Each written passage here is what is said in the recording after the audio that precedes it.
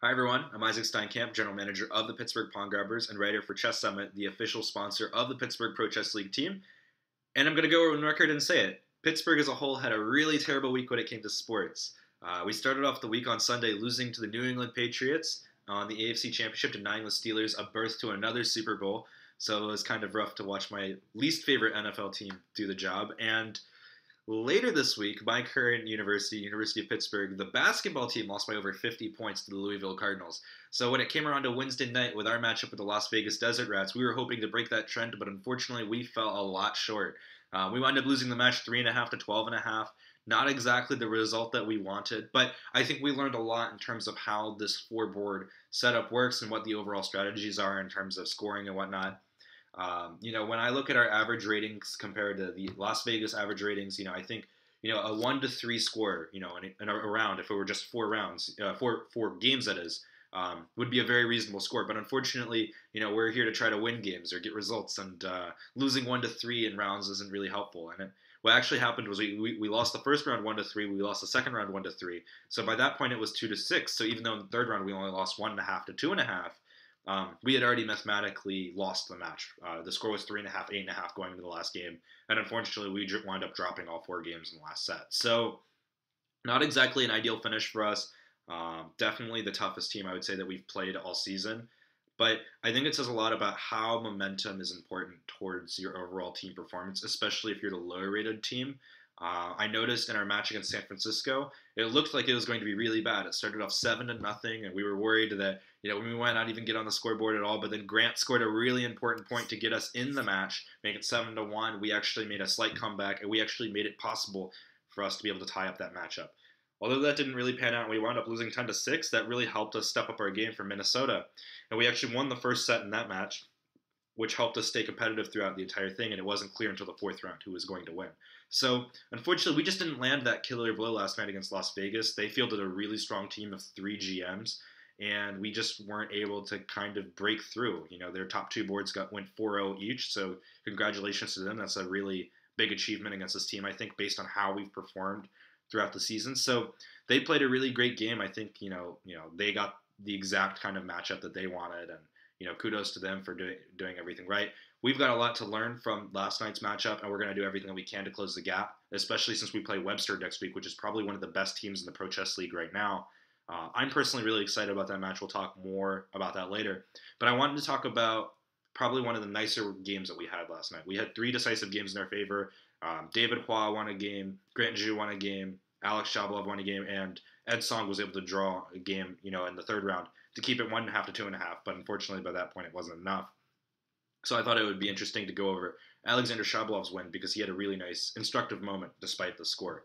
So if we go to the position really quick, it looks like Black has a lot of space on the queen side. His pieces look like they could be a little bit more active. White's pieces look really passive. So I think on a first glance, someone playing White would be a little bit scared in terms of the overall assessment of the position. Maybe Black's better even. But Black just played this move f6, and his idea is to solidify the outpost on e5 um, and keep this really strong knight there. Unfortunately, what this does is it does create a hook for Shabalov to use, and even though he, you're, you're advised, you know, early on not to move pawns in front of your king, that actually turned out to be the winning idea here. Shabalov immediately played g4, and after king h8, g5, everything blew open. So after fg5, bishop g5, h6, bishop came to f4, and now we see that there's a lot of weak light squares in front of the king, and this king is actually really snug on h1. Black wanted to bring the queen over to try to get some sort of counterplay on the king side, but this is already the sign of things going wrong. Black needed to liquidate to the endgame after knight to g6, and a whole bunch of pieces would have come off the board, probably resulting in some sort of equality. That being said, after queen to g6, Shabalov continued with the dynamic play, playing rook to e3. The idea of having a rook lift over to g3, activating this rook and putting further pressure on the king side. His opponent played queen to h5, and after king to g1, Black erred with knight to g6, but he had to make a really uncomfortable decision here, which was to have played bishop takes e4, giving up the bishop pair. This is actually a really unnatural move because now there's no natural defender of all these light squares, and white has an extra attacker. I think if Shabalov had gotten this position, he would have probably been able to convert. This rook is coming to g3. These pieces are perfect on the f file. This rook is misplaced, and now this bishop on f8, you know, yes, it is protecting g7, but it's going to make things awkward for this e8 rook. But black played knight to g6, and immediately white actually has a winning position after this move knight to g3. Black erred and actually hung his queen and allowed this position to occur and wound up resigning here.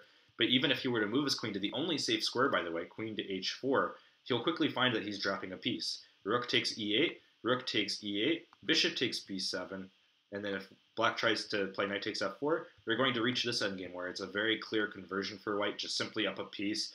Um, there's not even extra pawns for black's favor. These pawns will quickly become serious weaknesses, and black's just simply down a piece and will go on to lose the game. So this is a really nice idea by Shabalov. I really liked how, you know, despite how scary it may seem to play a move like g4 and weaken, you know, potentially weaken your king, it really quite played out quite nicely. After g5, the game definitely shifted, and this was a huge moment for Shabalov in this game. So this was a really nice play by him. So this was a nice win by Shabalov, probably our nicest game of the night. Um, probably one of only a few highlights. We had a couple of other interesting wins, but those were a lot more back and forth games and a lot less clear cut. So I thought this would be you know something enjoyable for you guys. But let's talk about our matchup next week with the Webster Windmills. Um, what can I say? As I mentioned earlier, you know I think Webster lost only their first game of the season, but since has played phenomenally. I think they're probably one of the best teams in the Pro Chess League right now. Uh, so we're really lucky to play them. Uh, you know, based on how our previous matches goes, you know, I, am willing to bet a lot of pundits are gonna make a real a lot of really scary predictions for us. You know, I'm expecting to see you know pundits all going to Webster. That's fine. Um, this is actually, you know, for me personally, this is not my first matchup with Webster. You know, pl- being a player for the University of Pittsburgh, um, I've actually gotten the opportunity to play against three different Webster teams at the Pan American Championships, so I'm a little bit familiar with how this matchup goes. It's really scary, I think, the first couple times, but you know, once you know, if we can land that blow, you know, if we can get a really, you know, a really impressive score, you know, things will actually turn out quite nicely for us. You know, if we can, if we can get on the board early, you know, I think that'll give our our players a lot of momentum going forward. You know, if I think back to our previous Pan Ams, um, we lost to Webster A three and a half to half, um, which was, you know, seems like a blowout, but I think our team didn't really believe that we had the ability to pull that out. But in the last game, the draw that game, actually, we had a 2200 draw Ray Robson. And so when we went into our next big matchup, which is against the University of Texas at Dallas B, with which had an average rating of about 2,500, we only lost one and a half to two and a half, and we had a lot of great chances to win that game, just because a lot of us believed that we had what it took to play against these GMs, um, just because of that one draw. So, you know, even though you know I think rating wise we're going to be huge underdogs, I think you know if we can just get on the board early, get a lot of momentum building, who knows? A lot of things can happen. You know, this is rapid after all. Um, so I'm really looking forward to it, and you know I think you know it's going to be a really fun matchup next week.